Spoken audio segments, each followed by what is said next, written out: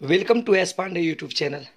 आज की क्लास में मैं आप लोगों को क्लास टेंथ मैथ 2012 की क्वेश्चन प्रैक्टिस करा रहा हूँ। इसके पहले मैं क्लास टेंथ मैथ 2012 के जो बिहार बोर्ड की क्वेश्चन पूछी गई थी, उसका ऑब्जेक्टिव मैं पिछले वीडियो क्लास में मैं अपलोड कर चुका हूँ, जो इसके डिस्क्रिप्शन में मिल जाएगी। आज मैं दो नंबर का क्वेश्चन बताने जा रहा हूँ। एक से बीस तक का जो क्वेश्चन था वो ऑब्जेक्टिव था, जो मैं बता चुका हूँ, और ये आज इक्कीस नंबर का क्वेश्चन बता रहा हूँ। तो देखिए, कह रहा है क्या क्वेश्चन ध्यान दीजिएगा। क्वेश्चन कह रहा है, अठारह, तेरह, सत्रह, बारह, सोलह, उन्नीस की माध्यिका ज्ञात करें। तो माध्यिका ज्ञात करने के लिए कहता है तो सबसे पहले मैं बता देता हूँ, माध्यिका ज्ञात करने के लिए सबसे पहले यहाँ पे जितने अंक दिए गए हैं, उन सबों को हम आरोही क्रम में सजा लेते हैं। उन सबों को हम क्या कर लेते हैं? आरोही क्रम में सजा लेते हैं। तो सबसे सबसे छोटा क्या देखिए, बारह लिख दिए। बारह के बाद छोटा क्या है? देखिए, तेरह। तेरह लिख दिए। तेरह के बाद छोटा क्या है? देखिए, सोलह है। सोलह लिख दिए। सोलह के बाद छोटा क्या है? देखिए, सत्रह। सत्रह लिख दिए। सत्रह के बाद छोटा क्या है? देखिए, अठारह। अठारह लिख दिए। और अठारह के बाद क्या है? उन्नीस। उन्नीस लिख दिए। अब देखिए, ये सजा लिया। अब यहाँ पे देखिए, गिनिए। कितने अंक है? यहाँ पे है, कितने एक, दो, तीन, चार, पाँच छ तो एन बराबर क्या आ गया? अच्छा। एन बराबर क्या हो गया? छ। तो एन बराबर क्या हो गया आपका छ? तो यहाँ पे एन बटे टू पहले निकाल लीजिए। एन बटे टू। तो एन बटे टू का मतलब हो गया छ बटे दो। यानी द्वितीय छ, यानी तीन। तो एन का मान जो यहाँ पर देखिए एन बराबर छ गया। तो एन बटे टू का मान कितना निकल गया? तीन निकल गया। अब देखिए कैसे बनाएँगे। तो एक बटे दो। ध्यान दीजिएगा। फिर क्या एन बटे टूवा पद। तो एन बटे टू का मान क्या निकला है? तीन। तो ये तीनवा पद होगा। क्या हो जाएगा? तीनवा पद हो जाएगा। जोड़। फिर देखिए एन बटे टू प्लस वन है। तो यहाँ पे क्या हो जाएगा? देखिए, तीन प्लस वनवा पद। तो अब देखिए बाबू, ध्यान दीजिएगा। तो एक बटे दो, ये क्या है? एक बटे दो, कोई दिक्कत तो नहीं होनी चाहिए। अब देखिए तीनवा पद। तो गिनिए इसमें तीनवा पद कौन है? एक, दो, तीन। तीनवा पद क्या है? सोलह। तो ये सोलह हो गया। फिर देखिए प्लस है। तीन और एक कितना हो गया? चार। तीन और एक कितना हो गया? चार। तो इसमें देखिए चौथा पद क्या है? सत्रह। तो यानी सत्रह हो गया। तो अब देखिएगा। सत्रह और सोलह को जोड़ दीजिए। यानी एक बटे दो गुना सत्रह और सोलह को जोड़ देंगे, तैतीस हो जाएगा। क्या हो जाएगा? तैतीस। तो तैतीस को दो से भाग दीजिए। तो सोलह पॉइंट पाँच। सोलह पॉइंट पाँच। अतः माध्यिका बराबर जो हो गई, यानी माध्यिका जो निकला, माध्यिका बराबर सोलह पॉइंट पाँच आंसर। सोलह पॉइंट पाँच आंसर तो समझ में आइए आप लोगों को? बताइए माध्यिका बराबर क्या हो गया सोलह पॉइंट पाँच. बहुत इंपॉर्टेंट क्वेश्चन है। देखिए, बाईस नंबर का क्वेश्चन क्या कर रहा है? टू टेन स्क्वायर पैंतालीस डिग्री प्लस कॉस स्क्वायर तीस डिग्री माइनस साइन स्क्वायर साठ डिग्री का मान निकालें। तो देखिए टू इंटू क्या है? टेन स्क्वायर पैंतालीस डिग्री तो टेन पैंतालीस डिग्री का मान क्या होता है? एक होता है। तो इसलिए इसको एक का स्क्वायर कर दिए, फिर देखिए प्लस कॉस स्क्वायर तीस डिग्री होता है। कॉस स्क्वायर तीस डिग्री होता है तो कॉस तीस डिग्री का मान क्या होता है? रूट थ्री बाय टू होता है। तो रूट थ्री बाय टू का होल स्क्वायर हो गया। फिर देखिए माइनस है साइन स्क्वायर साठ डिग्री है। माइनस क्या है? साइन स्क्वायर साठ डिग्री है। तो साइन साठ डिग्री का मान क्या होता है? देखिए रूट थ्री बाय टू अब इसका क्या हो जाएगा? हॉल स्क्वायर क्योंकि यहाँ पे देखिए हॉल स्क्वायर है। समझ में आ रही होगी आप लोगों को? अब देखिएगा। तो दो, देखिए, एक का स्क्वायर। तो एक का स्क्वायर तो एक ही होगा ना? तो एक गुना दो करेंगे तो दो हो जाएगा, प्लस। रूट थ्री बटे टू का होल स्क्वायर नहीं रूट थ्री बटे टू गुना रूट थ्री बटे टू। तो रूट थ्री गुना रूट थ्री क्या हो गया? थ्री हो जाएगा। अब देखिए, दो दूनी क्या हो जाएगा? चार। फिर देखिए, माइनस। रूट थ्री बटे टू का होल स्क्वायर तो रूट थ्री गुना रूट थ्री क्या हो गया? थ्री हो जाएगा। अब बटे, ध्यान दीजिएगा। क्या है? दो दूनी चार। अब देखिए, माइनस तीन बटे चार और प्लस तीन बटे चार कट जाएगा। तो क्या बच जाएगा? केवल दो बच जाएगा। इसलिए इसका आंसर क्या होगा? तो समझ में आई आप लोगों को? चलिए। देखिए, तेईस नंबर का क्वेश्चन। करे क्या? बिंदु चार पाँच तथा माइनस तीन दो के बीच की दूरी ज्ञात करें। देखिए, मान लीजिए कि बिंदु ए और ये बिंदु बी है। यहाँ से यहाँ यहाँ का जो नियामक है चार पाँच, और यहाँ का नियामक क्या मान लिए? माइनस तीन दो मान लीजिए ठीक है अब इन दोनों के बीच की दूरी तो दूरी के सूत्र से हम जानते हैं root under x two minus x one का whole square plus y two minus y one का होल स्क्वायर तो अब यहाँ देखिए बाबू रूट अंडर एक्स टू का मान कितना है? देखिए माइनस थ्री माइनस क्या होता है? एक्स वन एक्स वन का वैल्यू क्या है? फोर अब देखिए, इसका क्या हो गया? होल स्क्वायर फिर देखिए बीच में प्लस का चिन्ह होता है। Y two minus y one y two का वैल्यू क्या है? देखिए टू और वाई वन का वैल्यू क्या है? फाइव तो फाइव का होल स्क्वायर अब यहाँ देखिएगा सभी स्टूडेंट्स कोई प्रॉब्लम तो नहीं हो रही है? अब यहाँ देखा जाए माइनस तीन और माइनस चार, क्या हो गया? माइनस सात का होल स्क्वायर हो गया।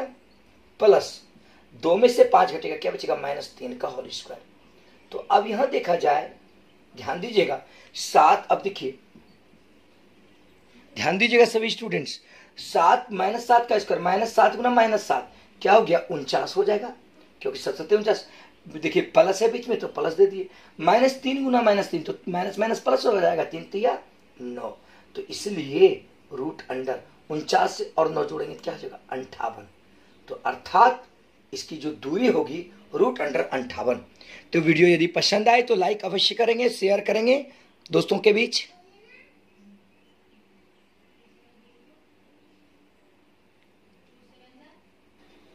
चलिए देखिए, चौबीस नंबर का क्वेश्चन। क्या करा है? एक साइकिल पाँच हज़ार चक्कर में ग्यारह किलोमीटर की दूरी तय करती है। तो पहिए का व्यास ज्ञात करें। तो सबसे पहले देखिएगा एक साइकिल पाँच हज़ार चक्कर में ग्यारह किलोमीटर चलती है। तो इसलिए एक चक्कर में कितनी दूरी तय करेगी, पहले वो निकालेंगे। तो एक चक्कर में, एक चक्कर एक चक्कर में दूरी, यानी तय की गई दूरी।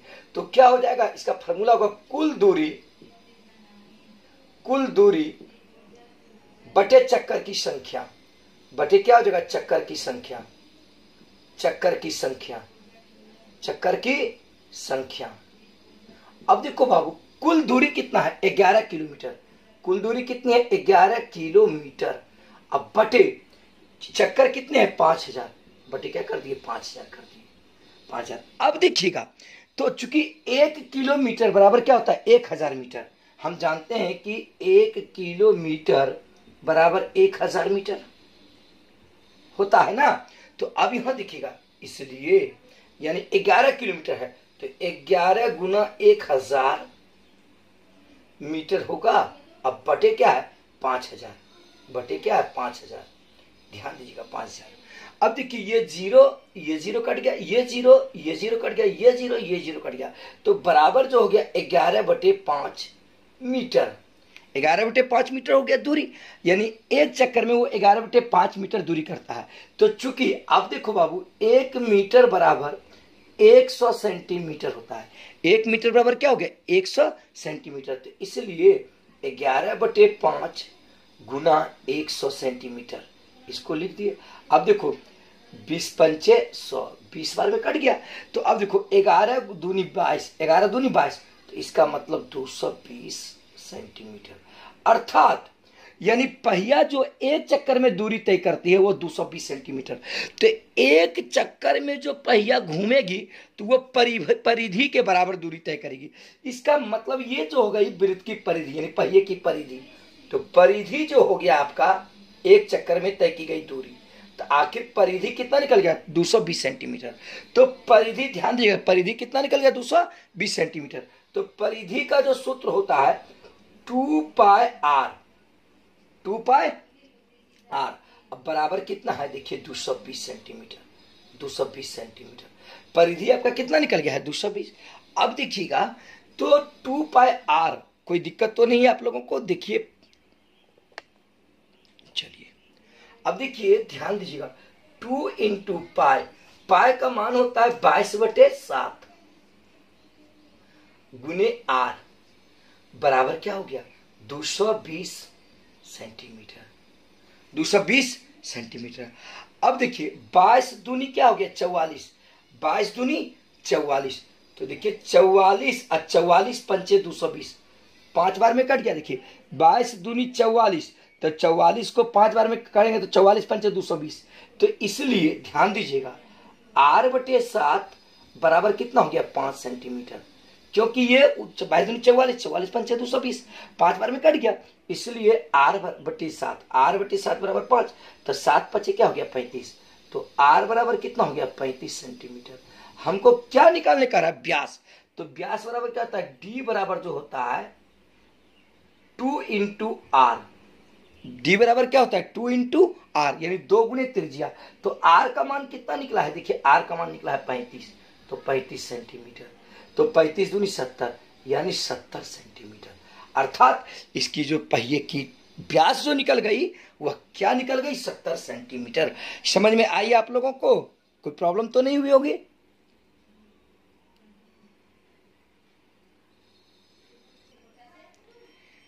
चलिए, देखिए कर पच्चीस नंबर, एक वृत्त के चतुर्थांश का क्षेत्रफल ज्ञात करें, जिसकी परिधि चौवालीस सेंटीमीटर है। तो आप लोग ध्यान दीजिएगा सभी विद्यार्थी तो परिधि कितनी है चौवालीस सेंटीमीटर? तो परिधि परिधि बराबर कितना दिया है? चौवालीस सेंटीमीटर। अब देखिएगा तो परिधि का जो सूत्र होता है टू पाई आर, बराबर कितना है? चौवालीस सेंटीमीटर। तो अब यहाँ देखा जाए तो दो गुने पाई पाई का मान क्या होता है? बाईस बटे सात। और गुने क्या हो गया? आर। बराबर क्या है? चौवालीस सेंटीमीटर। अब देखिएगा, बाईस दूनी चौवालीस। तो चौवालीस और चौवालीस क्या हो गया? कट गया। तो क्या बच गया? एक। ठीक है ना? देखिए, बाईस दूनी चौवालीस। तो चौवालीस इधर रहता तो नीचे भागी लगता ना? तो चौवालीस चौवालीस कट गया। यहाँ क्या बच गया? एक। तो इसलिए आर बटे सात बराबर हो गया एक। तो आर बराबर क्या हो गया? सात गुना एक। यानी आर बराबर हो गया सात सेंटीमीटर। आर बराबर क्या हो गया सात सेंटीमीटर? अब क्या कहता है? तो वृत्त के चतुर्थांश का क्षेत्रफल। तो देखिए ये वृत्त हुआ ना, ये वृत्त होता है तो चतुर्थांश का क्षेत्रफल, इसका मतलब यानी देखिए वृत्त के चतुर्थांश का क्षेत्र, इसका मतलब होता है, ध्यान दीजिएगा, यानी ये ये जो भाग है यहाँ से यहाँ, एक भाग इसका चतुर्थांश का रहता है। तो इसलिए इसका क्षेत्रफल निकालने कहता है किसका निकालने कहता है देखिए, एक भाग का क्षेत्रफल। तो इसका मतलब चतुर्थांश का जो क्षेत्रफल हो गया, पूरे वृत्त के क्षेत्रफल को चार से भाग दे देंगे तो चतुर्थांश का क्षेत्रफल हो गया। तो इसलिए चतुर्थांश का क्षेत्रफल, वृत्त के चतुर्थांश का क्षेत्रफल, चतुर्थांश का क्षेत्रफल का क्षेत्रफल बराबर एक बटे चार गुने पाए आर स्क्वायर। एक बटे चार गुने पायर स्क्वायर। तो देखिए, एक बटे चार गुने पाए का मान बाईस बटे सात और गुने आर स्क्वायर। आर का मान कितना है? देखिए, सात सेंटीमीटर। इसका स्क्वायर, इसका मतलब सात सेंटीमीटर और गुने क्या होगा? सात सेंटीमीटर। दो बार होगा कि नहीं? समझ में आ रही है ना? अब देखिए, ये सात और ये सात क्या हो गया? कट गया। ये सात और ये सात कट गया। अब देखिए, दो दूनी चार, ग्यारह दूनी बाईस कट गया। अब देखिए, ग्यारह सतह सतहत्तर। ध्यान दीजिएगा। ग्यारह यहाँ ग्यारह सतह सतहत्तर। तो सतहत्तर सेंटीमीटर स्क्वायर बटे क्या हो गया? यहाँ दो हो गया। तो बटे क्या हो गया? दो गया। अब दो से भाग देंगे। तो अड़तीस दूनी छिहत्तर, अड़तीस पॉइंट पाँच। यानी अड़तीस दशमलव पाँच सेंटीमीटर स्क्वायर आंसर। अर्थात चतुर्थांश का जो क्षेत्रफल हुआ, अड़तीस दशमलव पाँच सेंटीमीटर स्क्वायर। समझ में आई। चलिए नेक्स्ट क्वेश्चन। देखिए 26 नंबर का क्वेश्चन क्या करा है? कि दो समरूप त्रिभुज के क्षेत्रफल 36 सेंटीमीटर एवं इक्यासी सेंटीमीटर स्क्वायर है। यदि पहले त्रिभुज की ऊंचाई चार दशमलव आठ सेंटीमीटर हो तो दूसरे त्रिभुज की संगत ऊंचाई ज्ञात करें। तो इसका मतलब पहले त्रिभुज का जो क्षेत्रफल दिया छत्तीस सेंटीमीटर स्क्वायर, दूसरे का क्या है? देखिए, इक्यासी सेंटीमीटर स्क्वायर। पहले की जो ऊंचाई है चार दशमलव आठ सेंटीमीटर स्क्वायर, दूसरे की यानी डीएन निकालने का रहा है। तो हम जानते हैं कि समरूप त्रिभुज का क्षेत्रफलों का अनुपात उसके संगत ऊंचाई के वर्गों के अनुपात के बराबर होता है। इसका मतलब क्या होगा कि ए वन यानी ए वन बटे ए टू यानी क्षेत्रफलों का अनुपात यानी ए वन बटे ए टू बराबर उसके संगत ऊंचाई का यानी ए एम का स्क्वायर ए एम का स्क्वायर बटे क्या हो जाएगा? डी एन का स्क्वायर हो जाएगा। बटे क्या हो जाएगा? डी एन का स्क्वायर हो जाएगा। अब देखिए ए वन बटे ए टू ए वन का मान कितना दिया? देखिए छत्तीस सेंटीमीटर स्क्वायर ठीक, अब देखिए ए टू ए टू का मान कितना है? इक्यासी इक्यासी सेंटीमीटर का स्क्वायर बराबर ए एम तो ए एम का मान कितना है? देखिए ए एम का मान कितना है? चार दशमलव आठ. चार दशमलव आठ सेंटीमीटर का होल स्क्वायर अब देखिए बटे डीएन डीएन का मान कितना है? कुछ नहीं. तो बटे डीएन का स्क्वायर कर दीजिए. अब देखिए बाबू, यहाँ पे ध्यान दीजिएगा, ये छत्तीस है तो अब यहाँ पर देखिएगा छत्तीस को लिख सकते हैं छ बटे नौ छ बटे नौ सेंटीमीटर, की स्क्वायर सेंटीमीटर स्क्वायर कट गया। तो छ बटे नौ का होल स्क्वायर लिख सकते हैं। तो क्योंकि छचा के छत्तीस, नौ इक्यासी, बराबर क्या है? देखिए, चार दशमलव आठ, यानी सेंटीमीटर स्क्वायर।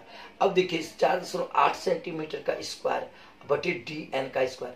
तो इन दोनों पर एक बार करके स्क्वायर कर दिए अब देखिए स्क्वायर स्क्वायर हट जाएगा, तुलना हो रहा है, समझे कि ना तो इसका मतलब ध्यान दीजिएगा सभी विद्यार्थी, क्या हो जाएगा? यहाँ देखिए छ बटे नौ, क्या बच गया? छ बटे नौ बराबर चार दशमलव आठ सेंटीमीटर बटे डी एन बटे क्या बच गया? डी एन अब यहाँ पर देखिएगा आठ छक अड़तालीस तो ज़ीरो पॉइंट आठ बार में कट गया कि नहीं? देखिए, आठ छक अड़तालीस।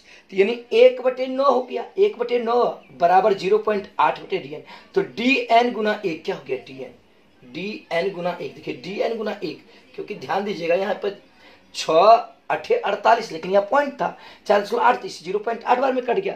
इसलिए यहाँ पर क्या बच गया? नहीं, कुछ तो एक बचा कि नहीं। तो एक बटे नौ बराबर ज़ीरो पॉइंट आठ बटे डी एन तो डी एन गुना एक तो डी एन हो गया। डी एन हो गया। अब देखिए, नौ अठी बहत्तर।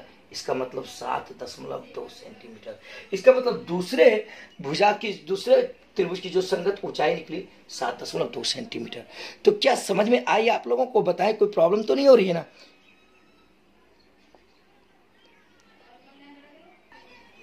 देखिए, कह रहा है सत्ताईस नंबर का क्वेश्चन।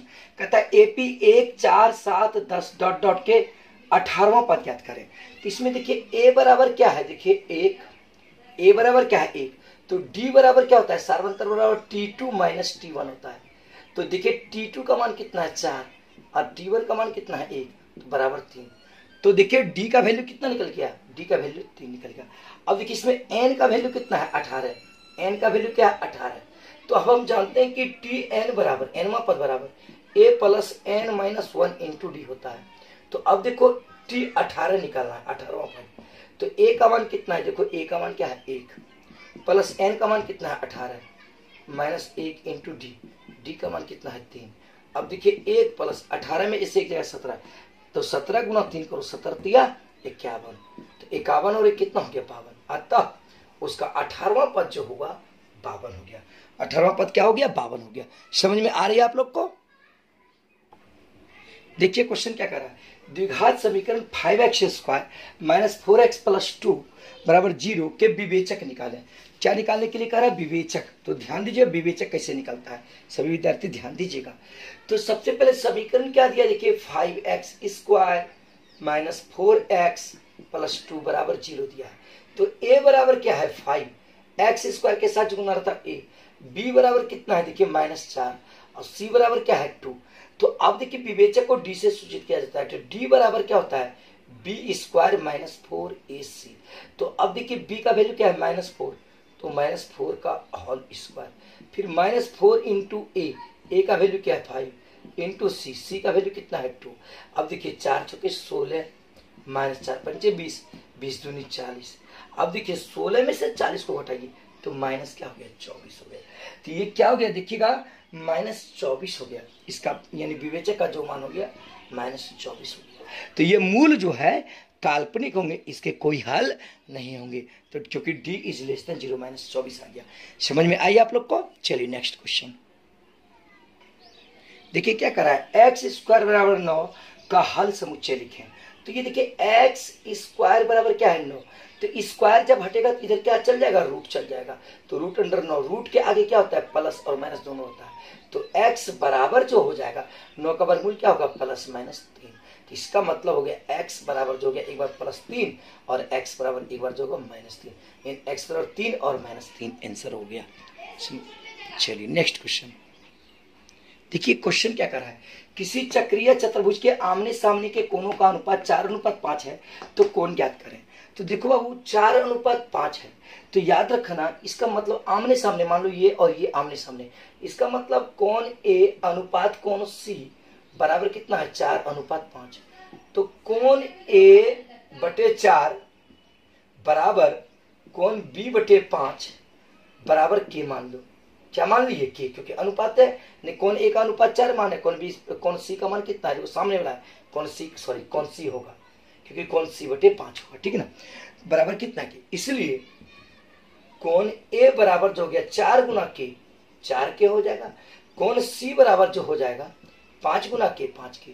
अब देखो, चक्रीय चतुर्भुज का एक नियम है। चक्रीय चतुर्भुज के सम्मुख कोणों का योगफल 180 डिग्री होता है। चक्रीय चतुर्भुज के सम्मुख कोणों का योगफल कितना होता है? 180 डिग्री। लिख देना है, चक्रीय चतुर्भुज के सम्मुख कोणों का योगफल 180 डिग्री होता है। तो इसलिए कोण ए प्लस सी बराबर कितना हो जाएगा? 180 डिग्री। तो अब देखिए कोण ए का मान कितना है? चार के। कौन सी का मान कितना है? पाँच के। बराबर कितना हो गया? 180 डिग्री। बराबर कितना हो गया? 180 डिग्री। पाँच और चार कितना हो गया? नौ। तो नौ के बराबर कितना हो गया? 180 अब देखिए, बीस बार में कट गया, बीस नमा असुया से तो के का मान कितना हो गया? देखिए, के बराबर हो गया बीस डिग्री। के बराबर कितना हो गया? बीस डिग्री। अब हमको कौन ए और कौन सी निकालने का रहा है समूह कौन निकालने का रहा। है तो कौन ए बराबर क्या है? देखो, चार के। तो चार के, इसका मतलब चार गुना के का मान कितना? बीस। तो बीस सौ के अस्सी। यानी कौन ए का मान कितना निकल गया? अस्सी डिग्री। कौन ए का मान कितना निकल गया? अस्सी डिग्री। अब देखो कौन सी निकालना है तो समूह को कौन सी बराबर क्या है? पाँच के देखो पाँच के यानी पाँच गुना क्या होगा? बीस। के का मान बीस पंचे एक सौ, यानी एक सौ डिग्री। कौन सी का मान कितना हो गया? एक सौ डिग्री। अर्थात, यानी इसका वैल्यू हो गया अस्सी डिग्री और इसका वैल्यू हो गया एक सौ डिग्री। अभी दोनों को जोड़ो तो देखो एक हो गया कि नहीं। आज की क्लास में यहीं तक वीडियो कैसा लगा, कमेंट अवश्य करेंगे। थैंक्स फॉर वॉचिंग और वीडियो को लाइक करेंगे, दोस्तों के बीच शेयर करेंगे।